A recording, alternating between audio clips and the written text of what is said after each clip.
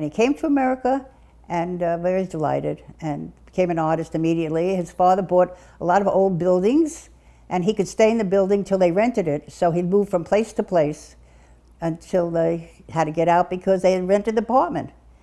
And then he found a studio. A friend of his, Rocco, found a studio. They had two studios down on East 6th Street.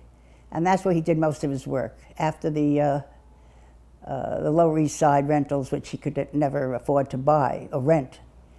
So he lived on East 6th Street for all those years, had a wonderful studio there. He loved it.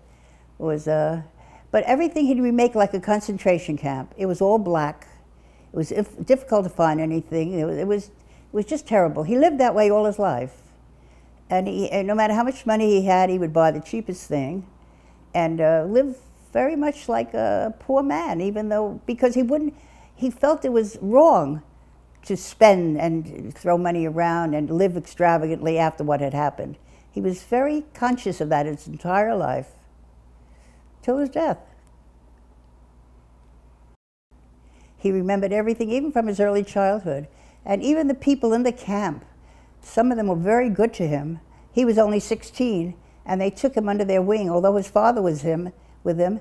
One of the carpenters taught him how to do carpentry, which saved him in many ways.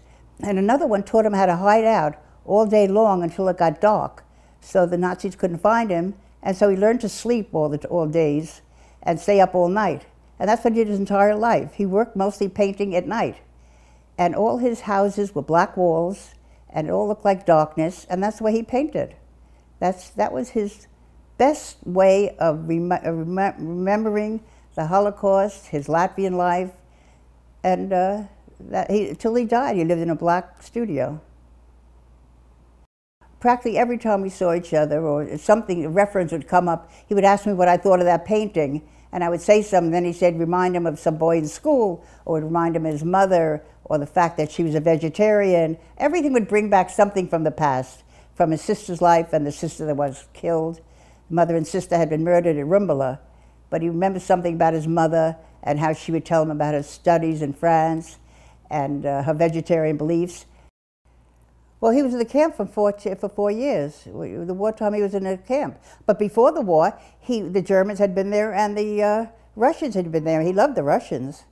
The Germans were horrible. He always loved Russians very much. Russian music, Russian literature, Russian poetry. He had a lot, a real Russian heart. And his father was a died in the will uh, businessman. No matter where you put him, he'd become rich again. It happened to him many times. He was rich in Russia. He came to Latvia, became rich in Latvia, came to America, was poor, got rich in America. He was a born businessman, and Boris, deep down, he must have had it in him because at the end of his life, he decided to make a lot of money because he said, my work won't exist if I don't take care of it. And he needed money to take care of it. So he went on the stock market and became a millionaire. But he didn't pay his taxes, so they took most of it away when he died. You know. His mother and sister were sent to Rumbula. First, they were in a little, uh, they were taken over as Jews in a Jewish community, and he and his father were able to be together, which was a miracle. And his father knew how to do things in the camp. He was able to take care of Boris, sell a cigarette or sell this. He was, became quite an active businessman in camp. And uh, he was always business oriented, and Boris was an artist always. It was of 1961. I had seen Boris's work in one of a group show downtown, and I was very excited by it. I didn't know the artist, I just remembered the name. So Boris flew back from Milan, from Schwarz's gallery, and came to my house. I lived in the lower fifth, I lived at fifth and ninth at that time in the village, and I met him, and it was a, miracle because he was so much, so much like myself in the way he thought and uh, what was interesting to him and the art. I thought he was extremely attractive and extremely brilliant and a wonderful human being and exactly the kind of person I would like to be with. He was just amazing. Just like the, we were like siblings in a sense. We had so much of the same qualities and same attitudes about life and the world. And uh, it was just an immediate friendship that never ended. First time, the first meeting I met him, I knew that he was the right person for me. And he was. We stayed together all those years, and uh, He, he had been married before to a very nice girl, Beatrice. I'm still in touch with her, but uh, that didn't last. And uh, she went back to France, and then I met him. And uh, from that point on, we were together. Just a wonderful person to be around. He was so gentle. I think being in a concentration camp makes him aware of everybody's feelings. He just understood the pathos of everyone. And that was the way he was with his friends. And he was just a, a wonderful friend and a wonderful person to be with. And certainly he was brilliant. And his work was very exciting to me. I loved his work. We discussed it very often. Well, you know, he slept most of the day, mostly nightly relations, because he worked mostly nights and the days he slept. He slept because in the concentration camp, the only way you get through the day was to sleep through it. So the night became the most important part of his life. Well, he always remained poor in his life. I mean, even though he could have had as much money as he wanted, his father was money, he was difficult with other people. He was never difficult with me. He, was, he would imagine and want people to live up to their obligations. He wouldn't take a liar. He was very moral, very ethical. He was, uh, he was very sweet and kind to people, and he would help people if he could. But if somebody was tough, like a businessman or a, a worker that was too tough, he was very tough with them. He wouldn't let them get away with anything. He was fascinated by history. He knew the history of the Holocaust, he knew the history of Rome, and knew the history of Russia.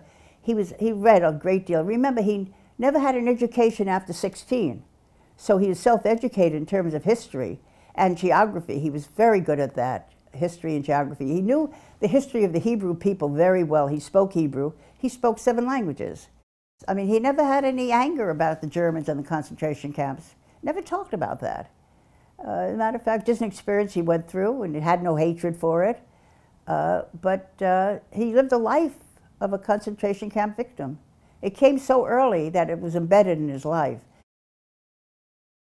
He said his work emanates from the New York streets, and that's what he believed in. And when he was sick and he was in bed with a bad foot, he saw all these girly magazines, and that's what started him in getting involved with cutouts and pinups and the girlies and the uh, whole, what they call uh, definite, uh, difficult art was Boris's way of showing New York as it really was. He was very political. He did a lot of political paintings, and he joined some organizations to help other people. But his art was all about pinups and the statement and Israel and the Jews and the Holocaust and the future of the world because he worried about it all the time. I mean, he didn't want to see it happen again, as we all didn't. And he would take precautions by joining organizations that were fighting against anti-Semitism or anti-blacks or anti, even anti-gays, all these people we had to fight against about art in general. We spoke, I don't think we saw each other when we didn't speak about art. Not his art or some art, but somehow it would come into the conversation. Did you see this one? Did you see that one? And they were an artist, so we talked about their art. You know, it would come in all the time because it was basic. That's where we both agreed and uh, it was easy to talk about. And I get a lot of insights because he knew a lot about art that I didn't. And uh, I enjoyed it very much. And he was always interested in the art world, about the money going on in the art world. He was amazed by it. You know, he was really amazed by a lot of money being spent on anything.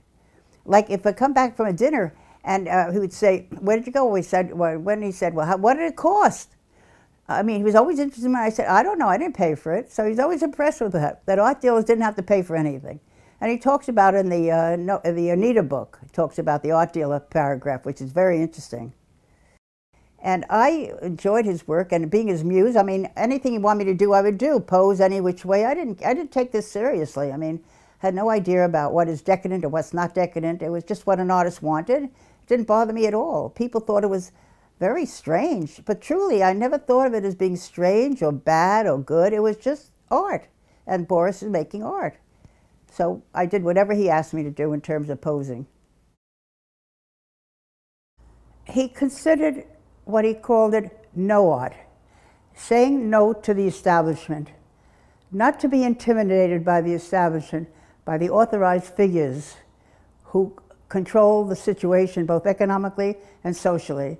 He was anti the establishment, and no art represented that. A lot of the pop artists were his friends, Oldenburg, Lichtenstein, he knew them. We used to see them at the bar. You know, the Friday night bar was a famous place where we would all meet. And he was very friendly with them. He particularly liked de Kooning and Kline and Rothko, the abstract expressionists that preceded him. And they were very friendly toward him and write some very nice things about him. I don't think he felt there was such a thing as pornography. I mean, I mean unless, unless people were using it for uh, unusual things like sadomasochism or uh, pederasty and stuff like that, pornography was pin-ups. That was considered pornography. So I guess you would have called him a pornographer, but he was not. He was just showing the human side. Most people were very interested in going to clubs where people were undressing and stuff like that. He took no offense at that. I mean, he used to like those nightclubs too. He went to many of those pin-up places and, uh, and found them very exciting. They were exciting and they were visual, and he used them in all his paintings. But he had nothing against pornography or uh, anything to do with prostitutes. He had no connections, nor did he care, or did he promote, or did he not promote. It was not in his understanding at all. Pornography is not something he thought about. Nor did he do. He's not a pornographer. He showed the seamier side of the world, but Hustler and Playboy, they were all coming out. There was no difference in Boris and them. It's what people wanted. I mean, it's like people want to smoke or they want to take dope. I mean, it's their, their position to do. But what is symbolic meaning he was able to find? Symbolic meaning. The humanity of people, their human needs and human desires, and how to make it effective, and how to use your life so that you get some pleasure out of life and you're not restricted by the establishment.